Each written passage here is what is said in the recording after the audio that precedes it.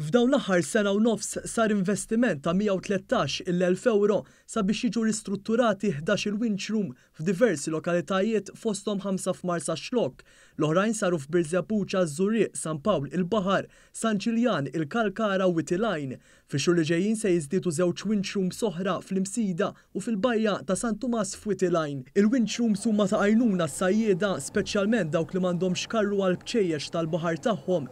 Dawn il-kmamar kellhom bżonn ristrutturar estensiv fosthom f'sistemi tad-dawl u l-ilma, madum ġdid, tibjid u tiswija fuq il-winch ropes. Bosta sajjieda reġistrati jagħmlu użu minn dawn il-faċilitajiet b'xejn. One News tkellem mal-aktar sajjied anzjan Joseph Schembri li ilu jagħmel użu mill-winch rooms għal madwar 50 sena. U meta jiġi l-ħin biex inaddaf teħt, intallgħuhom hawn.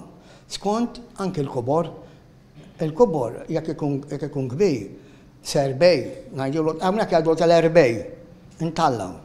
Tifhimni? Imma hemm hekk jibqa' aggressive way. Għaliex trid in-nies biex jgħinuk. Huwa tkellem dwar kif anke l-maltemp jaffettwa dan il-proċess. Imbagħad kif inkunu qegħdin hawn, jiffrittaw, ħa nagħtfuh, jekk ikun il-mistier Nhar din tax-xitwa jiddawru naqa' jkun bil-maltemp, imma jekk ma jekewx bħal mewda ż-żminijiet jew żmien it-tonn, hekk ma jkunx b'eċċedent ma jixbgħux dawk il-kbur. Jixbgħu xi bastimenti żgħar li ma jaħdmux għalih.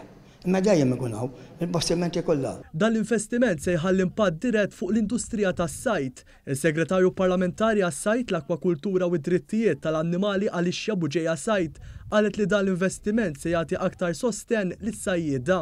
Investiment fil-winch rooms sabiex jiġu aktar state of the art u nkomplu ntaffu mill-piżijiet tas-sajjieda tagħna. Tajjeb wieħed jgħid li l-użu ta' dawn il-winch rooms huwa b'xejn għas-sajjieda kollha f'Malta u Għawdex u bħala Gvern aħna impenjati li nkomplu nkunu ta' spalla ma' dan is-settur tant importanti għal pajjiżna.